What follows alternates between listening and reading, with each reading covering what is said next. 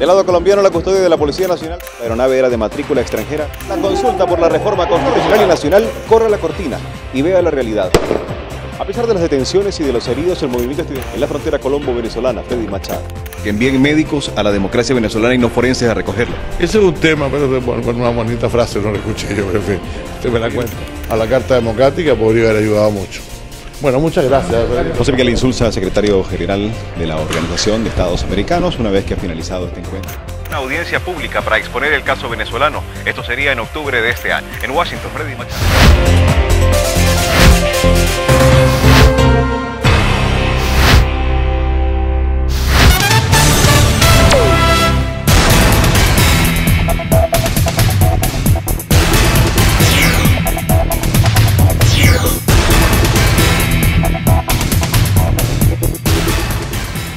Le damos la más cordial bienvenida a la emisión meridiana del informe 12.2 digital. Todas las noticias que usted necesita conocer las tenemos listas. El Congreso hondureño debate si devuelve o no al poder al depuesto presidente Manuel Zelaya, a pesar del anuncio sobre su negativa a incorporarse eventualmente a su cargo por haberse cumplido ya el proceso electoral. ¿No te parece que estuviera cantando joropo? Y no está todavía en nuestras mentes aquella imagen de, de Manuel Zelaya con su sombrero y su guitarra, porque además es cantante. Porque es que todos nuestros presidentes, chicos, tienen un toque de folclore. Folclore. No hablemos de Bolivia. de la situación.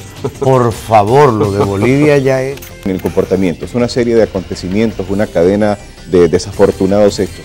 Ponemos punto final a la presente emisión meridiana del informe 12.2 digital, recordándoles a las 6 de la tarde una nueva emisión con Leana Astorga y a las 10 de la noche más noticias a través del informe 12.2 digital y toda la programación de Hola TV, el primer canal norteamericano en castellano. Gracias por acompañarnos.